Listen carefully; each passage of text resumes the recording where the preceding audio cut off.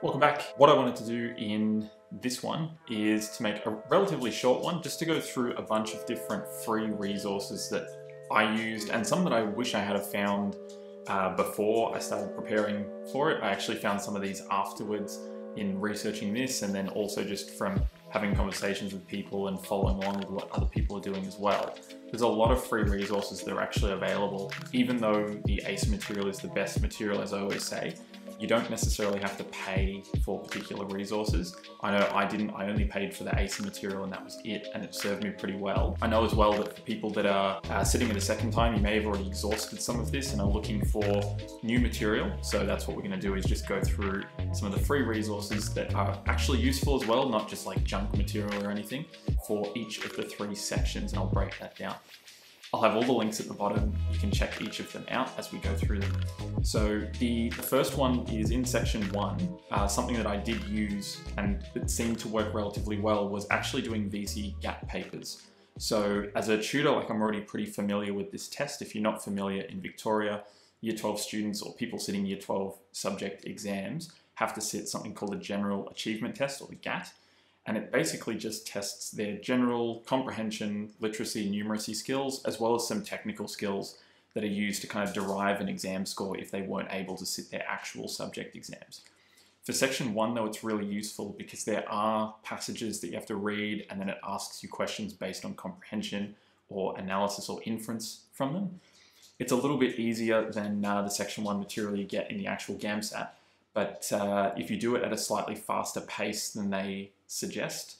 They usually get two hours and suggested two hours to do 75 total questions. Not all of them are section one related. So you do have to kind of sift through them, but I would say try to give yourself uh, maybe kind of three to four minutes per stem or so. They work on stems and you have multiple questions, so it's very, very similar in layout.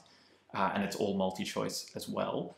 And uh, it's a good place to start because it's probably a little bit easier than section one material, but it is relevant to it. So you can kind of grade and work your way up. The second one that I used was the UK BMAT. I've talked about this before, mostly in relation to section three, but um, you can also do it for section one. Again, somewhat similar questions, but it often has more than four options, which is different to GAMSAT.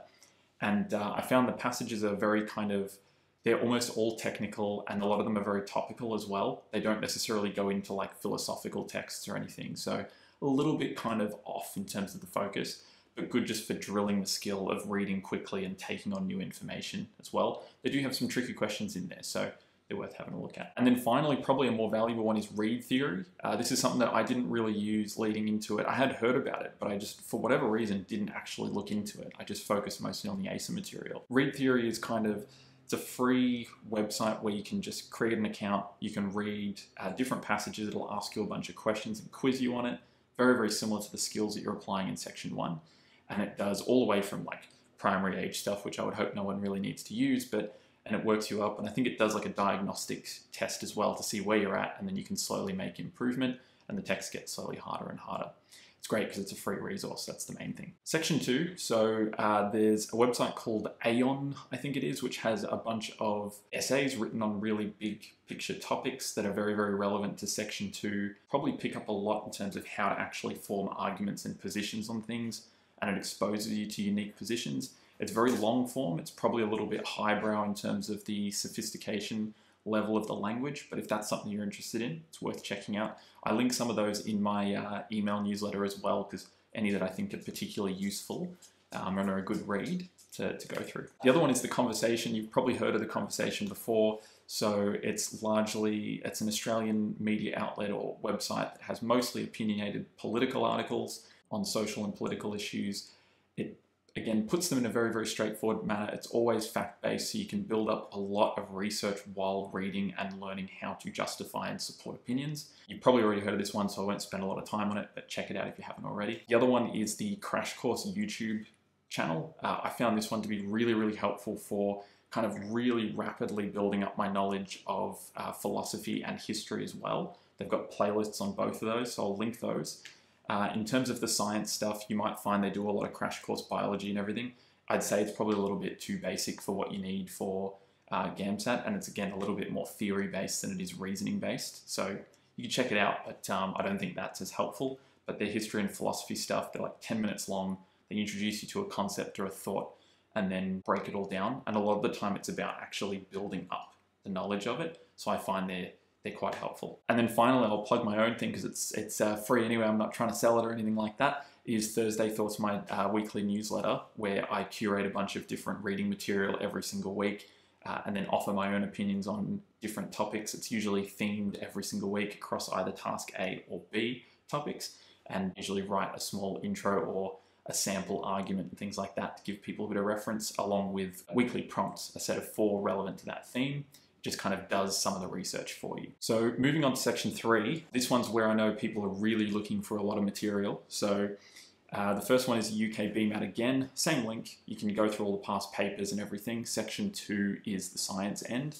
It's again very different in focus. The questions are a little bit stranger, but I use them just for pacing practice, as I've mentioned previously. Uh, another one is if you want to go through high school level uh, chemistry exams. So I'll, I'll, link the VCE. There's probably HSC equivalents and things, but I know the VCE well. The VCE chemistry and biology exams, just the multiple choice. Some of them are technical, so you don't want to do all of them, and it does mean you have to sift through them. But there are a lot, uh, particularly with chemistry, to do with like pH, pKa, that kind of thing, ranking things, making assumptions and inferences are quite good. And the bio exam as well has a lot of stuff that's testing experimental design uh, methodology as well, which we know is now coming up in section 3 too. Obviously, probably going to be a little bit easier because it's not supposed to be a reasoning test. Uh, those exams, they're more about technical knowledge and memorization of things, but it is again a good way just to test that skill if you don't want to burn through the ACER material too quickly. Then Google Scholar. This one doesn't have questions, but I'm sure you've used Google Scholar before to do research for assignments and things like that, and lit reviews. So I use this whenever I was trying to practice a particular skill. I would go to raw research and I would try to understand the information. I'd usually go to their graphs and tables and their results sections, try to absorb the information and see if I could make inferences off of that. Then I would check if my conclusions were right by then reading the abstract or the conclusion, see how close I was. It's a really, really good thing to do just to kind of get used to taking on foreign and unusual information. Another one is uni-level chemistry worksheets. So I did this all the time whenever I was making errors. I would just Google that topic, just write worksheet, PDF into Google, pulls up a bunch of freely available worksheets from universities and courses and things like that. It is skills and theory based, not necessarily reasoning based, but there is some theory that is assessed or at least utilized in the test. So I would do that all the time. I did that for a lot of organic and stereochem. I've linked one example below.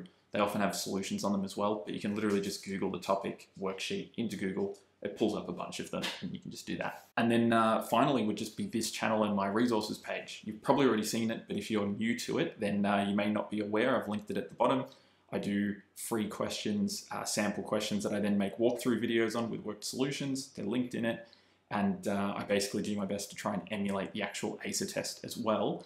And so this is really just based off of the fact that I know that people uh, are looking for more and more material all the time. The ACER material burns out really quickly. There's not enough material available. A lot of it is paid, which kind of sucks, and it's generally not very good quality.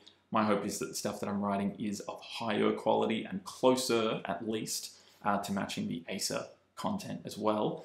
Making it freely available means that people have better access to it and therefore can better prepare. So check that out if you haven't already everything that I do um, is all available on that resources page at the moment. So you can check that out as well. And that's it. So those are all of the free resources that at least I'm aware of. If there are any that you know of that you want to share, let me know, put it in the comments. And hopefully this has helped and has massively increased the resources that are now available to you without having to break the bank. In fact, not having to touch the bank at all. Keep saving your money. Don't give ACER any more money than they already have, apart from maybe still using their practice material, definitely don't put any money into the pockets of the private companies because it's an absolute rip-off in my opinion. Anyway, I won't rant. I will see you in the next one.